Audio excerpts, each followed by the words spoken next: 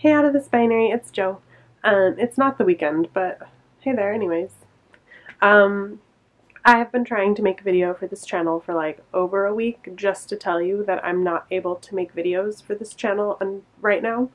Um, I like hit like creative burnout and so I've just been like needing to give myself the time and the space to it's like I have to heal my creativity somehow.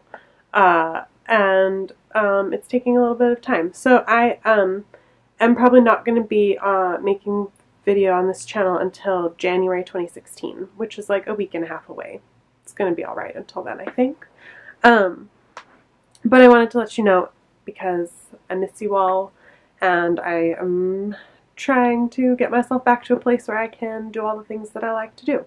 So um, I hope you are hanging in there in the meantime. Believe in yourself, and I will see you in 2016.